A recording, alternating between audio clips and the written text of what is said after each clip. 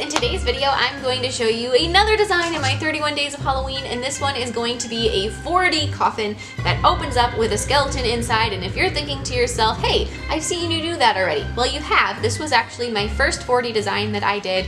I want to say it was five years ago, four or five years ago, and it was the first thing I'd ever done with a hinge, and it kind of opened a whole new world for me, so this is a type of design I always like to come back to every Halloween because I love it so much, and it's just kind of nostalgic for me. This year, however, I took it one step further and I made it so the skeleton can sit up. So after you open the coffin, the skeleton's not just laying there still. He just, you have a little wire underneath and you just move it around a little bit and then he sits up and it adds just a whole new element to it. I absolutely love this. Don't forget to check out Helen's design too. Hers is actually quite similar to mine, so you can just see a different take on it. And don't forget to click subscribe, see all my future videos as well. So I'm going to begin with an overlay of clear acrylic. And so I'm doing this because I'm painting the nail with black gel polish. And so the underneath color is really irrelevant. If you are applying a fill over somebody then if they have a an acrylic design underneath, it doesn't matter because that black gel polish will cover it up. Or if you're doing like me and it's a fresh whole thing, you could sculpt with black acrylic if you prefer, or not, up to you. So I'm going to file the nail into shape with my e-file to make sure it is nice and smooth and it'll be easy to work on top of and then paint one to two coats of black gel polish on top of it. It's up to you as far as one to two coats. Whatever the coverage is of your gel polish is what you need to pay attention to. And then a layer of gel sealer over the top of that. And now we're going to begin doodling our little template. So I've got a piece of paper and I've got the nail next to it and I'm going to use that as a guide to shape my coffin. So I've got the little beginning coffin shape and then I'm going to draw the sides coming out away from it. I don't know, did you guys ever have to do these types of things in like fourth grade where you had to draw what a cube would be flat if you like unrolled it? This is exactly where that knowledge is coming into play. So don't ever say those things in school were useless because every once in a while they come back. So now I'm going to lay a nail form backing over that doodle and I'm going to start sculpting all of the different pieces. And you need two of most of them. So those longer side rectangles, you need two of those, but you and you need two of that first coffin shape. You only need one though of the squares. So the top square and the bottom square. So you don't need to worry about making two of those, but you need two of everything else. And so you're going to sculpt them and make sure that you don't sculpt the two pieces that are next to each other at the same time because they're going to end up getting stuck together and you don't want that. So the great thing with a nail form backing is after you sculpt a couple of the pieces and you're confident that their shape is, you know, what it needs to be and it's not going to change, then you can just slide it over and you can still see your doodle underneath and you can work on two different parts. The hard part with that is that if you aren't, you know, very good at keeping track of what all of the different pieces are. It can get a little bit confusing when it comes to assembly if you don't, you know, if you can't think about, okay, this piece is here and this piece is there. Sometimes it can just get a little bit confusing that way. So now I'm going to begin sculpting my second set of that longest rectangle and go through and start filling in those. And when you're sculpting all these different pieces, if you happen to forget one, you can always go back, save your doodle so that you can go back and, you know, make another piece if you happen to forget one because sometimes making all these things to make sure that you do have all the pieces can be a little bit harder than you might expect. So now I'm going to be sculpting that main coffin piece with my same brown acrylic. And this shade of brown is super dark, darker than I want my coffin to be in the end. So to lighten it up a little bit, I'm going to brush over some really, really light tan acrylic over the top of the different planks and then use a dotting tool to scrape across that lighter tan to carve in the shape of the wooden planks. I want this coffin to have a 3D texture to it so it really looks and feels like it is made of just some scrap wood that was really hastily put together. So brush that over the top of each piece and then draw those little lines in. And one thing that I would do that I did all at once later on that I would have probably recommend to do sooner is I also went and I made some perpendicular lines that give you like the different endings of the wood planks, which I'm doing now. So just kind of randomly make those other lines going across. It would work a little bit easier on the ones that are that I did first if I would have done them sooner. So I'm going to do that over the two um, tops of my coffin. And if you're wondering why I did what is the bottom of the coffin that's being glued to the nail, the reason I did that is because I wanted to be able to choose which top I liked. And if I did them both, then I would have the option to choose whichever one I thought was better. So you give yourself a little bit of opportunity to pick and choose and be particular. So now I'm going to assemble my coffin with nail glue and some more acrylic. So just start anywhere basically and just work your way around it. And this is where you have to be able to kind of discern which pieces are which. And if that's something that's you know, not easy for you, then come up with some kind of a system so at least you know it might not be obvious to anybody else, but as long as you can understand what your process is, that's all that matters. Mine was kind of all over the place as far as where the different pieces were on my nail form backing. So when it goes to, when you do go to assemble, you either have to be able to really visualize and tell, okay, this piece is longer, so it goes here, or have a system. So it's up to you and just do whatever you think you need to. So I'm going to make sure all those pieces are nicely glued together. They're all super thin that you know, they kind of are still a little bit bendable. So if you need to bend something to get it to work, you have that option. So just make sure that everything is glued together. Sometimes when you're gluing one area, a different one will pop off. That's because nail glue is the bane of my existence and it got stuck to my glove you know, all of these things. When people, every once in a while, somebody will say, You really are good with nail glue. That's because I crop out some of the situations where my design gets completely glued to me. But so now I'm going to take my e file and a very narrow bit to carve a hole right through the middle of the coffin.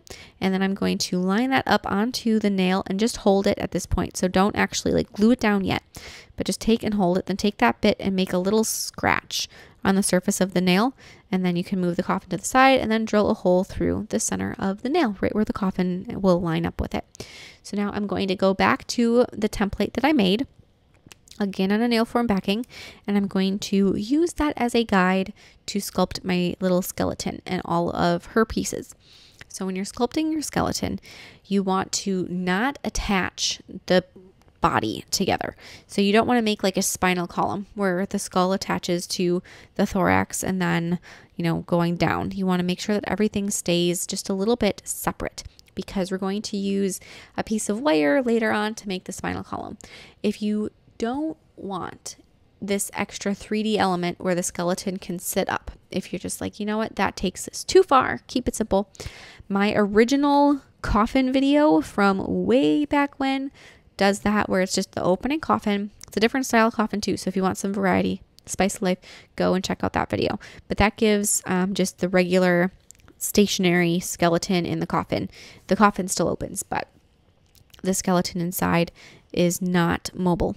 So that gives you that option too if you want to look at that. So I've got my head, my skull separated from the um, spinal, or not the spinal, from the thorax or the chest. And then I have my two little arms. And now I'm going to be sculpting the pelvis and then my legs all the way down. And that can all be attached. You don't have to worry about that. That's going to just be glued down. And that actual portion of the skeleton is stationary. It's just the upper body that sits up and can kind of turn back and forth like she's looking around, which I think is just so creepy and so cool. The fact that that can move like that, almost like a little puppet, is just really quite quite cool. Like I said, I've made this other coffin that's actually quite similar before. It was my first four dimensional design that I made so long ago. It feels like forever ago. It's probably five years old now, five, six years old. Oh, probably five years old, that tutorial. But it was a revolutionary design for me because I'd never done anything crazy like this and I got hooked on it and that's how I got to where I am today. So if you ever want to know how or what started my craziness, you can thank that design. So I'm going to glue my coffin to the nail, make sure that you align the hole that's in the coffin and the hole that's in the nail so that it goes all the way through. And then after you have that glued down, I would really recommend securing it with some clear acrylic underneath it so that it does not you know, get bumped off. But then you're also going to need to glue your little legs down into the nail. Make sure that they are below the hole.